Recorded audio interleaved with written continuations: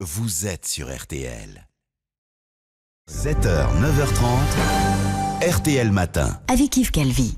8h20, bonjour Laurent Pietraszewski. Bonjour Yves Calvi. Merci beaucoup d'avoir choisi RTL pour votre première interview, puisque vous venez d'être nommé secrétaire d'État aux retraites, autrement dit l'un des hommes les plus observés de France.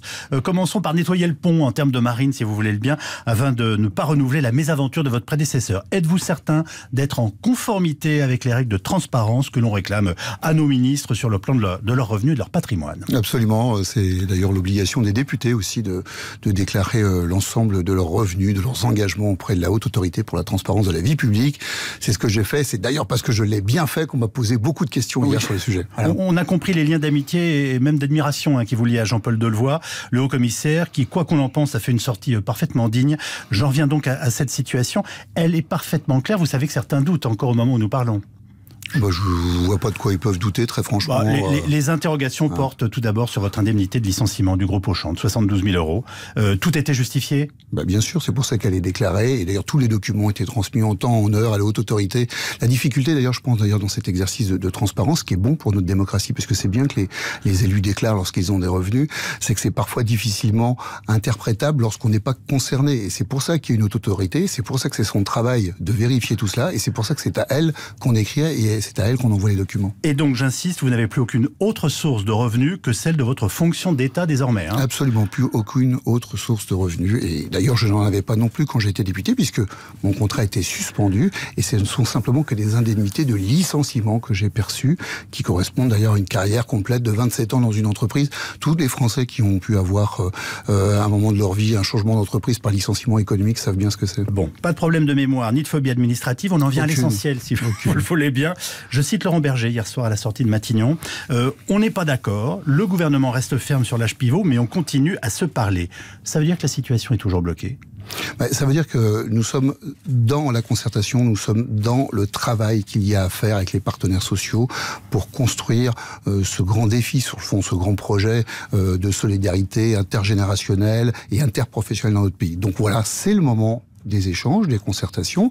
Bien sûr, on va arriver euh, euh, aussi au moment où on sera avec le projet de loi. C'est la volonté du gouvernement. Vous savez que le Premier ministre a, a donné un calendrier. Oui. Mais il y a ce temps qui a été initié par le Premier ministre et je crois qu'il faut en bénéficier pleinement. Vous suivez ce dossier depuis longtemps. Est-ce que vous avez une conviction, vous, notre nouveau secrétaire d'État, sur ce qui permettrait de sortir de la crise?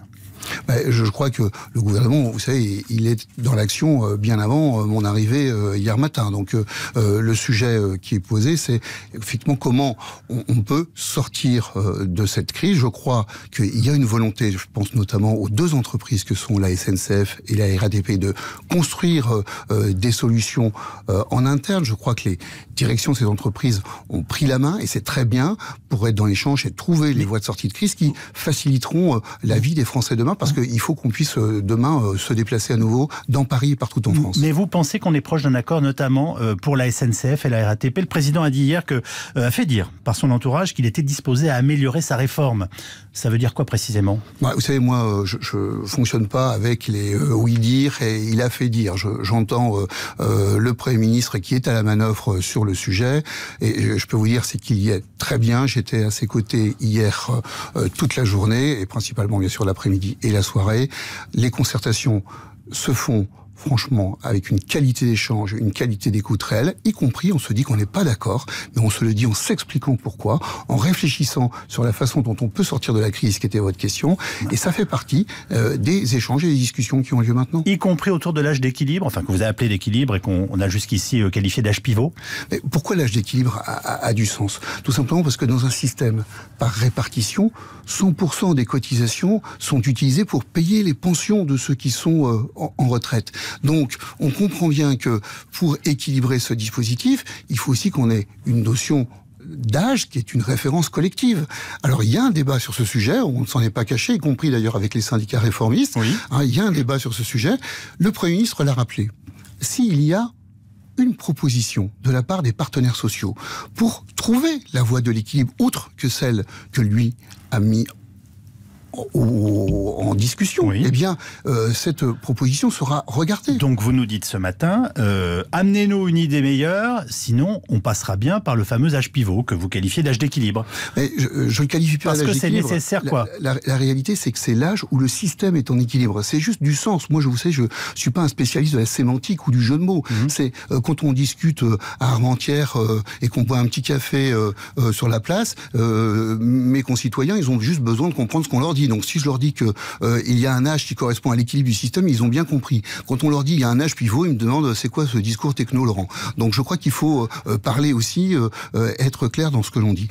Nous proposons qu'il y ait l'équilibre qui puisse se faire par l'âge. Cela permet d'inscrire que le point ne baissera pas dans la loi, et vous savez qu'on veut que le point ne baisse pas dans la loi, qu'on puisse garantir le niveau des pensions, et puis parce que moi c'est ma lecture politique, mais je l'assume. Moi je ne souhaite pas qu'on puisse euh, augmenter les cotisations, augmenter le coût du travail. C'est ce que vous suggère Laurent Berger. Mais si les partenaires sociaux, si les partenaires sociaux en décident autrement et qu'ils se mettent d'accord, c'est ça l'intérêt de la démocratie sociale. Moi je peux avoir en tant que euh, politique une vision et vouloir que la démocratie sociale existe. Si euh, elle est capable de faire une autre proposition, elle sera entendue par le Premier ministre. Est-ce que ça veut dire que tout cela va être géré de façon, je dirais, paritaire, pour employer un terme finalement assez simple et qu'on peut comprendre? Entre gouvernement et partenaires sociaux bah, et, jusqu'à quel point Vous m'avez compris?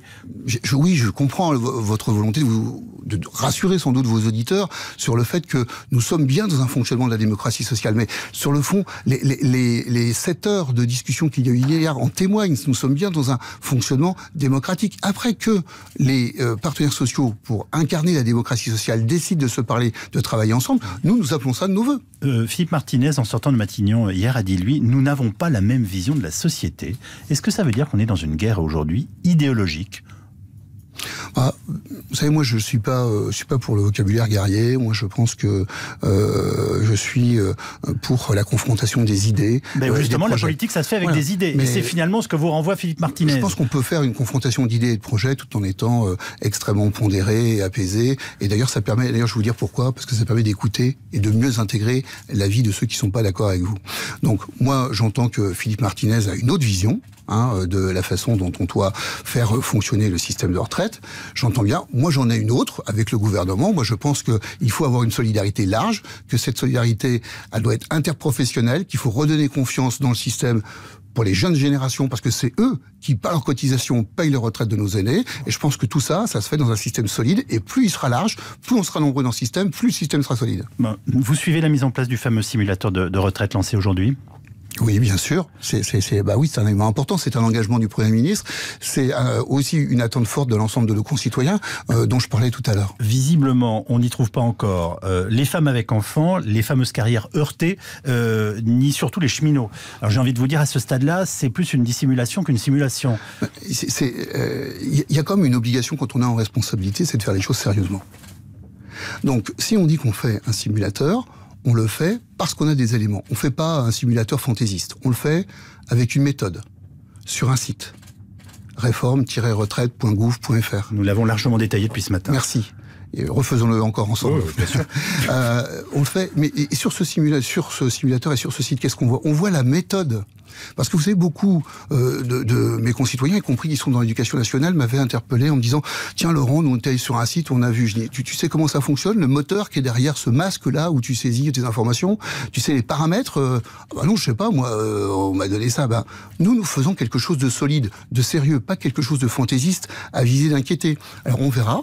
Le simulateur aujourd'hui, il est dans sa première étape, il va bien sûr se développer. Pourquoi il va se développer? Parce que plus on aura des informations sur les paramètres de fin, eh plus on pourra rendre le simulateur riche. Donc aujourd'hui, lorsque chacun de nos concitoyens se rend sur ce site, eh bien il a la possibilité de voir s'il est concerné ou pas par le système universel de retraite Et si oui, quelle est la part de sa future retraite qui sera concernée. Et il y a plusieurs cas types. Alors, quand espérez-vous, je dirais, un simulateur parfaitement efficient et avec jusqu'à combien euh, de, types de profils euh, euh, pour les Français qui voudront aller y faire un petit tour? Dans la journée, il y aura là une quarantaine de profils qui seront mis en ligne.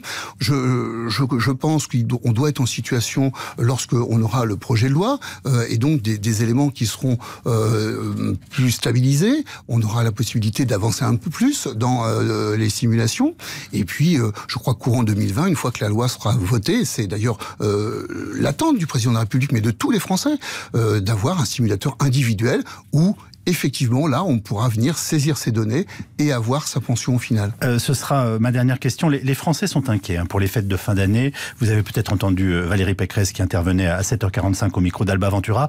Pardonnez-moi, mais il n'y a pas actuellement le moindre espoir de lever les blocages je vous ai dit tout à l'heure que moi, j'entends que dans euh, chacune de ces euh, entreprises de transport ferroviaire, que ce soit la SNCF ou la RATP, il y a des discussions qui avancent, il y a une volonté de la part des directions, mais je crois aussi des partenaires sociaux de trouver des voies de sortie.